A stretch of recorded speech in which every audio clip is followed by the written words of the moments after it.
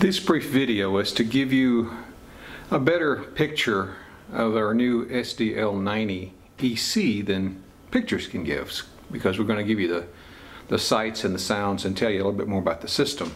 It's a very compact unit. Uh, we'll zoom back on it in a, in a, few minutes but first I want to show you the, uh, fact that it does have a, a key uh, lockout safety switch so if you leave the machine unattended it's certainly a, a safety measure to be able to do this. It's got two uh, indicators of power, one on the power control unit and one on the handpiece, and also an audible warning that the unit is powered up and ready to fire. And when you turn the unit off, it takes a few seconds for that power to, uh, to discharge internally.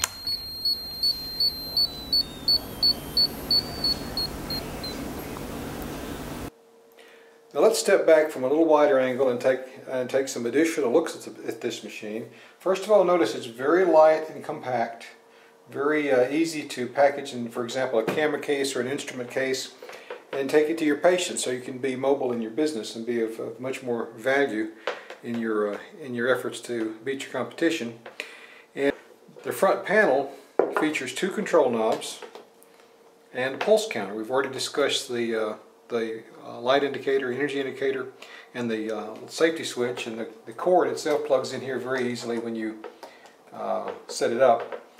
The uh, pulse counter is resettable so you can keep up with how many pulses you've delivered to a particular spot or during a particular treatment session. The um, intensity control rather than get into complications about how many joules per second per square centimeter we're talking about here, that's in the literature. Just call it low, medium, and high intensity. And then the pulse uh, frequency, let's call that just slow, medium, and fast. This is the number one is about a pulse a second, maybe a little bit faster.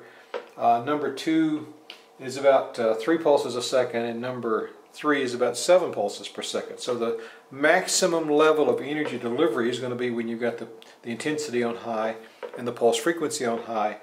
And you know that in one second that setting is going to deliver 220 joules per square centimeter per second of fluency to the target. Now uh, there's a big difference between this system's design and the other laser systems from this manufacturer in that this is a epidermal contact laser. It is not uh, designed to be held above the skin and fired. It is designed to be pressed against the skin when it is fired. And there's a little bit of a trade-off in that. The, the, the good news is it's much more efficient. It's about 50% more efficient in delivering the laser energy or the photon energy to the target, to the hair follicles.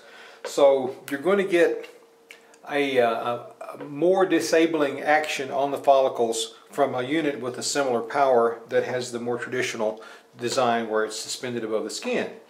Uh, the, the downside to that is there is no, there's no optics here, so the, the laser energy is not confined when it leaves the diode. It spreads out immediately.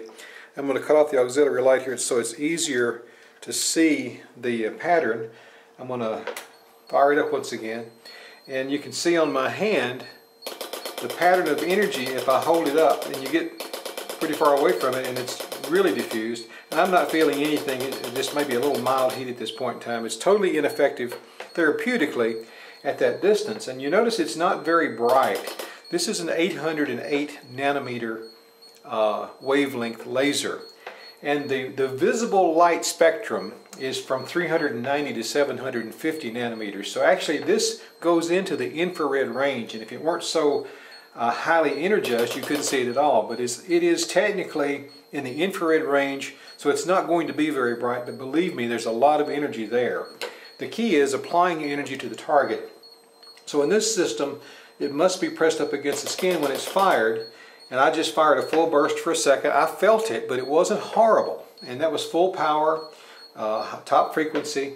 And one thing that's very, uh, very noticeable about, about this machine, uh, and this is very tender skin here, is that it's, it's, it's a relatively comfortable machine to use because the energy is, is getting through the surface layer of the skin and uh, before it's really um, going to work and you're passing through the most sensitive area of the skin and uh, it, it's much more comfortable to me, especially than an IPL or than, a, than a, a, laser that's first hitting the surface of the skin before it goes on through. So I'd first rank this as a very comfortable machine from a patient standpoint, just from this brief test here.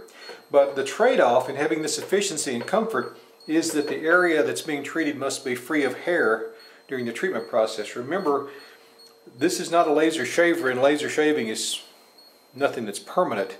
What's permanent is destroying the capacity of the follicle to produce a hair, and that, that involves traumatizing the tissue in the uh, papilla bulb. So uh, the, the area must be shaved or waxed prior to treatment, and it's certainly advisable to have this done in, uh, before the treatment session to save your time, unless you're charging for it. But uh, and the reason that is true is because if there is a hair on the skin, between the skin and the diode, that hair is going to be crystallized by the heat. It's going to sting a little bit, it's going to stink a little bit, but the main thing is it's going to mar the surface of this glass, which is very precision glass. And the system does come with a polishing cloth to uh, to occasionally buff that, but you can avoid that entirely by just by following the instructions. Notice this is the uh, the emission area, and um, I hate to shoot my camera, but yeah, there it is. Um, hopefully it didn't blind my camera, because there's a lot of energy. So we're going to press this against the skin again just to demonstrate. That was well over a second. I felt the heat, but it was not uncomfortable. And if this were an area that had follicles that produce hair, I just killed some. But of course, that one doesn't have any. Um, very nice system. I think this is going to be a big seller. Uh, this particular unit is a demo unit and it's just been used for photographs so it's going to be available at a discount until it's gone. And uh, uh, look forward to uh, any questions that you might have or uh, doing business with you or your salon or if you're a reseller we're certainly open to having people help us put these things on the market.